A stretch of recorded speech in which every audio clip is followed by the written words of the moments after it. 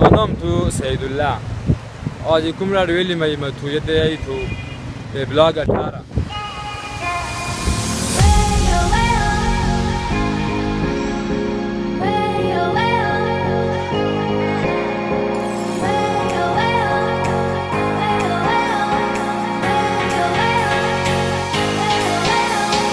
السلام علیکم جی میرا نام ہے ابراہیم اور آپ دیکھ رہے ہیں آئی اے کیز ویژولائزیشن کا ولاگ نمبر اٹھارہ مجھے پتہ ہے میں دو ہفتے کے بعد آج کچھ اپلوڈ کر رہا ہوں تو اس کے لیے پہلے ہی میں آپ سے سوری کہہ رہا ہوں۔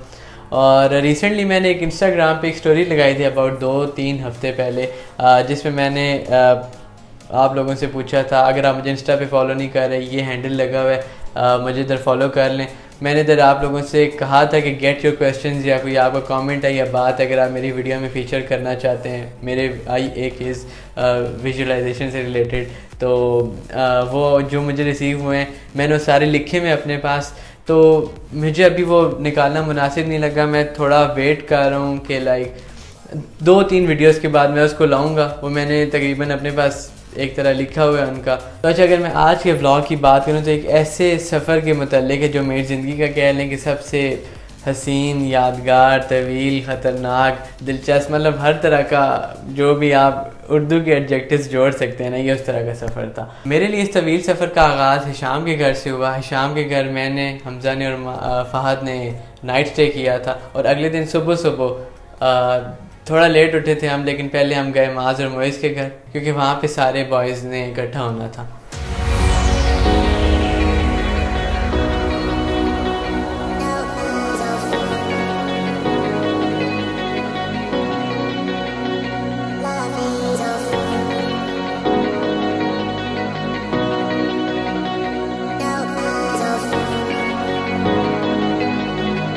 Don't swipe up.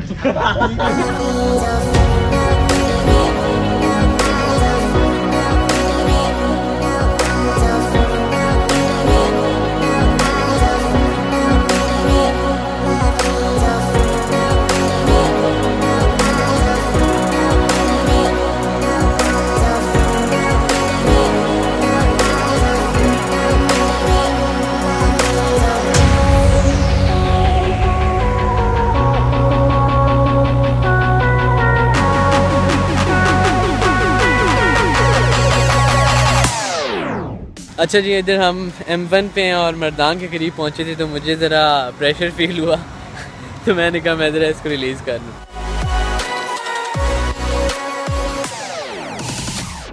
طویل سفر اگر دوستوں کی موجودگی میں طے کیے جائیں تو وہ ہمیشہ کے لیے یادگار بن جاتے ہیں۔ اور یہ سفر میرے لیے، میری زندگی کا سب سے یادگار سفر بن گیا۔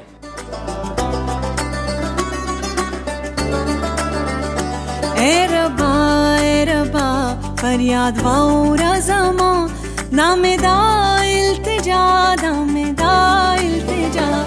اے ربا اے ربا، فریاد واؤ زما نام دا التجا. تو صورتحال کچھ یوں کہ ابھی ہم راستے میں رکے ہیں مالا کنڈ کے قریب اور تھوڑی دیر کے لیے ہم نے کہا کہ ریسٹ کریں۔ ریسٹ تو نہیں کہنا چاہیے، پانچ دس منٹ کا اسٹے کیا۔ بوائز ادھر اپنی فوٹوگرافی میں مصروف ہیں۔ اور، ابھی یہ ہے کہ دن کے تقریباً بارہ ہوئے تو اب دیکھتے ہیں کہ اگلا اسٹاپ ہمارے لیے کون سا بنے گا۔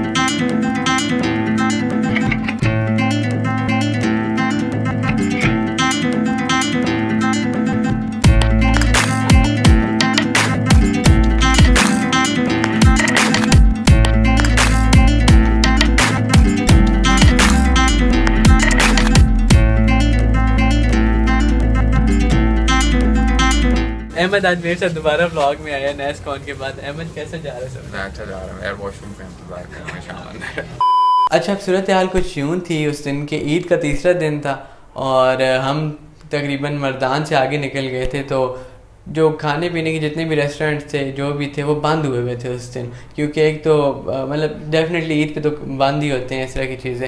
تو اس لحاظ سے پھر ہمیں ایک بڑے لمبے سفر تک نا بھوکا رہنا۔ پڑا ہم ڈھونڈ رہے تھے کہ کچھ تو ہمیں کھانے کا ملے لیکن کچھ کھلا ہی نہیں تھا۔ تو آخر کار اپنا اسٹے کیا وہ کیا تھا تقریباً دیر سے تھوڑا پہلے ایک ریسٹورینٹ آتا ہے۔ وہاں ہم تھوڑی دیر کے لیے رکے اور وہاں ہم نے ذرا اپنا لنچ کیا۔ صبح سے ہم سفر کر رہے ہیں تین چالیس ہو گئے اور دن کا کھانا ابھی تک نہیں کھایا۔ ہیلو فرینڈس چائے پی لو۔ اچھا ادھر میں دیر پہنچا ہوں اور اب کھانا کھانے والے ہیں۔ تو یہاں صرف میں اکیلا ولاگر نہیں آیا۔ اب میرے گروپ میں ایک اور بوائے بھی ہے۔ ٹرپل او سے ساتھ ارشد۔ انشاءاللہ ہمارا بھی مارکیٹ میں اگر بلاگ اور آپ ان کو بھی سبسکرائب کریں۔ نیچے ڈسکرپشن میں میں ان کا لنک دے دوں گا۔ بھوک لگی ہوئی نہیں لگی ہوئی؟ یار بھوک تو بڑی سخت لگی ہوئی ہے لیکن ابھی دیکھو۔ کافی دیر بعد جا کے کوئی ریسٹورینٹ ملا ہے۔ کہہ رہے ہیں ان کا کھانا بہت اچھا ہے اب آئے گا تو پتہ چلے گا۔ دیر کے اس ریسٹورینٹ میں ہم کھانا کھانے والے ہیں۔ تو جب تک میں یہاں کھانا کھاتا ہوں جب تک بلکہ ہم یہاں سارے کھانا کھاتے ہیں تب تک آپ اس جگہ کی صورتحال دیکھیں۔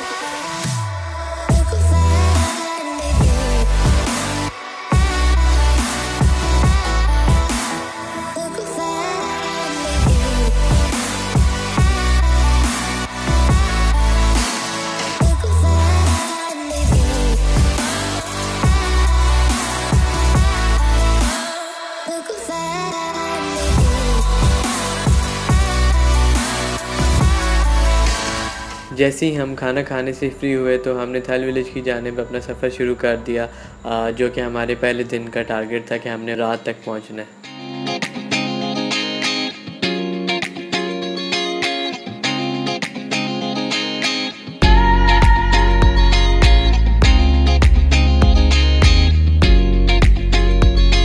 صورت حال ابھی کچھ یوں ہے کہ ہم راستے میں تھل ولیج کے تھل ولیج جا رہے ہیں جو کمراٹ ویلی کے بھی راستے میں آتا ہے تو پہلے آج رات کا ہمارا اسٹے تھل ولیج میں ہوگا۔ ادھر میں نے سوچا کہ میں کچھ اپنی فوٹوگرافی کرتا ہوں۔ میرا یہ اپنا پیچھے ٹراپر لگا ہوتا ہے ہمیشہ کی طرح۔ تو دوستوں کی میں نے کچھ فوٹوز کھینچی، اپنی بھی لی ہیں۔ اور یہ والا ویو جو ہے نا، یہ بس خوبصورت۔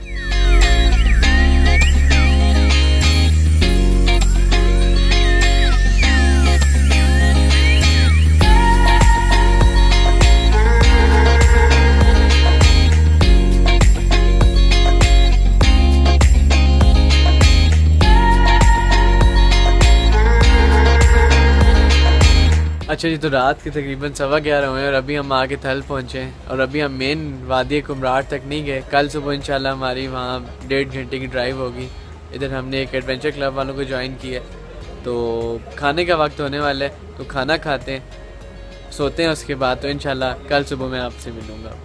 سفر بہت طویل ہو، تو راستے میں ایک سٹے تو بنتا ہی ہے۔ تو ہم لوگوں نے سوچا کیوں نہ ایک رات ادھر تھل میں گزاری جائے۔ اگلے والے ولاگ میں آپ مجھے ملیں اور اگر آپ کو یہ والا ولاگ پسند آتا ہے تو لائک کریں سبسکرائب کریں، اگر چینل پہ پہلی بار آئے ہیں کامنٹ ضرور کیا کریں، آپ کے کامنٹ کا مجھے انتظار رہتا ہے اور اگلا والا ولاگ بس دو سے تین دن کے بعد آ رہا ہے۔ ملتا ہوں آپ کو۔